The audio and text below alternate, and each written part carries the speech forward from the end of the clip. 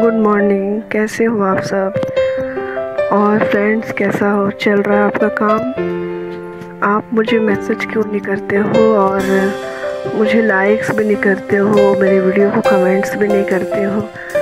क्या बात है फ्रेंड्स आपको मेरा वीडियो पसंद नहीं आ रहा है क्या? आप प्लीज़ कुछ तो रिप्लाई कीजिए, कुछ तो कमेंट्स कीजिए। जिससे मुझे पता तो चले कि आपको मेरा वीडियो पसंद आ रहा है या नहीं आ रहा है।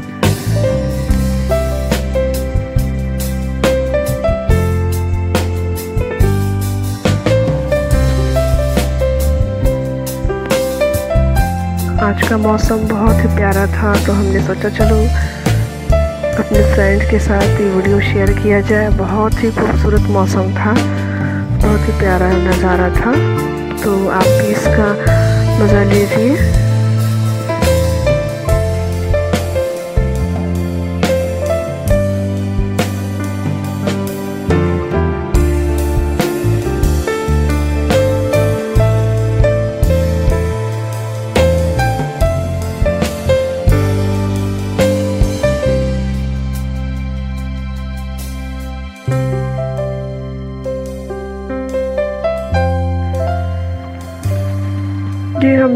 शाम को शूट किया है फ्रेंड्स बहुत ही प्यारा लग रहा था सनसेट के समय ऊपर आसमान तो हमने सोचा कि इसका वीडियो बना लें.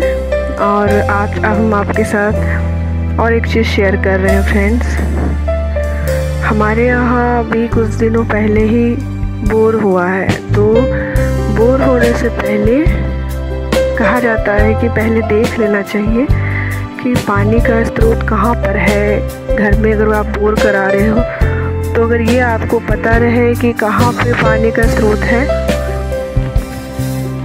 तो आसानी होता है आपको बोर कराने में, क्योंकि आप इतने पैसे लगाते हो बोर कराने में और आपको पता चले कि यहाँ तो पानी ही नहीं है तो अपना नुकसान होता है फ्रेंड्स तो ये तरीका हमें किसी ने बताया था कि आप नारियल ले लो हाथ में और उसे आप रख कर इस तरह से देखो तो जहाँ पे पानी होगा, वहाँ पे नारियल ऑटोमेटिक स्टैंड हो जाता है। तो हमारे हस्बैंड ने ये करके देखा और रियल फ्रेंड्स जहाँ पे पानी था, वहाँ पे ऑटोमेटिक ये देखिए आप, नारियल कैसे खड़ा हो गया था और जहाँ पे थोड़ा सा किनारे किया इन्होंने हाथ तो नारियल वापस डाउन हो गया।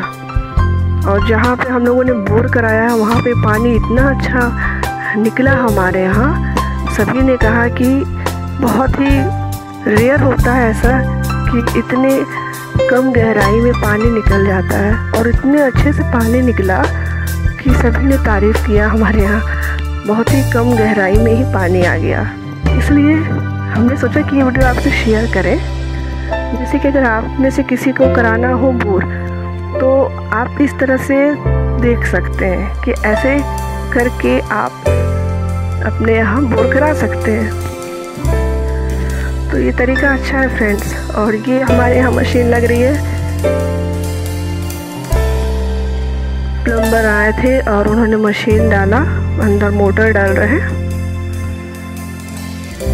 बहुत मेहनत लगी हमारे दोनों बेटे। बीच में झुटे हुए हैं मोटर डालने में। तो हमने इसका पूरा वीडियो शूट कर लिया था। हमने सोचा कि चलो आपके साथ भी इस वीडियो को शेयर करते हैं। ये हमारे यहाँ प्लम्बर आए थे और उन्होंने मोटर डाला। कुछ दिन तो फ्रेंड्स पानी गंदा ही आता है। हर किसी के साथ होता है ऐसा। हर किसी के यहाँ बोर में, शुरुआत में गंदा पानी ही आता है। और हमारे यहाँ तो तीन चार दिन तक करीब गंदा पानी आया। फिर उसके बाद बिल्कुल साफ़ पानी आने लगा। मेहनत बहुत लगी थी इसको फिट करने में इनको। प्लम्बर अकेले ही पूरा किया था इन्होंने। और ये हो गया यहाँ पे, तुलसी जी का हम लोगों ने वृंदावन रखा है। और ये हमारे हस्बैंड ने पूजा किया था। तो हमने उसकी भी क्लिप डाल दिया है। जब मशीन लगी थी तो हमारे हस्बैंड ने पूजा किया था। और चलिए, आपको कुछ बनाकर शेयर किया जाए आपके साथ।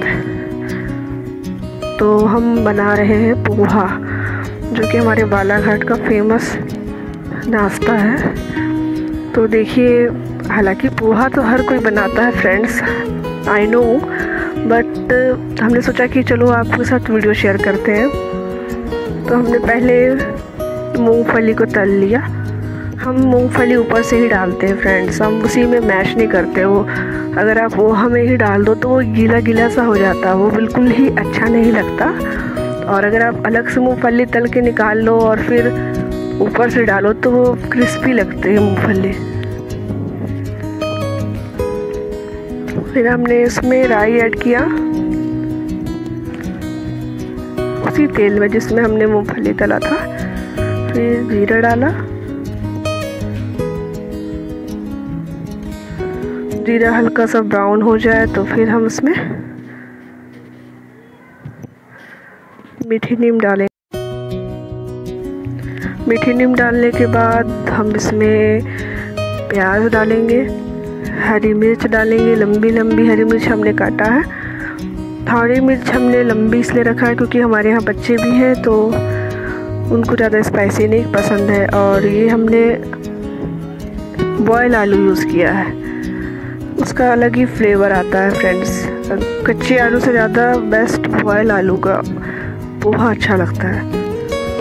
और इसको ज़्यादा आपको फ्राई भी नहीं करना रहता है। हल्के से फ्राई करो और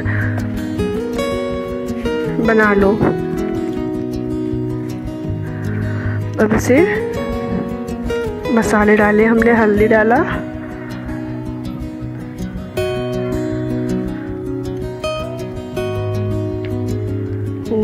धनिया पाउडर डाला।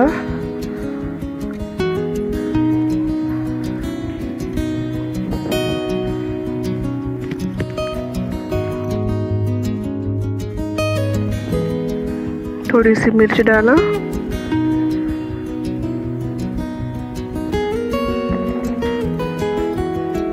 नमक हमने शुरू में ही थोड़ा सा डाल दिया था।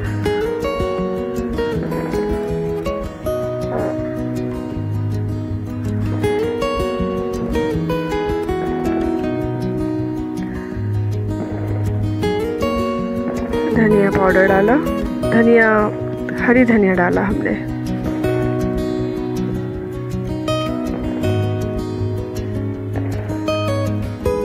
इतने में आलू फ्राई हो जाते हैं, अब हमने पोहा डाल दिया। पोहा में ही हमने थोड़ा सा नमक और शक्कर ऐड किया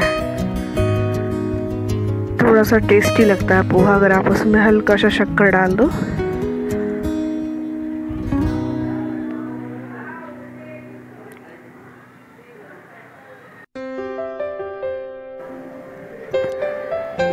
और इसे अच्छी तरह से मिला लेना है।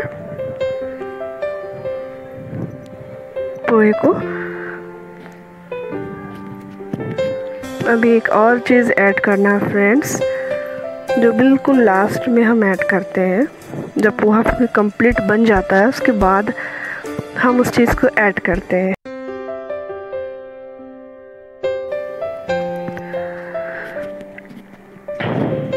जी हाँ फ्रेंड्स नींबू की बात हम कर रहे हैं। नींबू से पोहे का टेस्ट दुगना हो जाता है।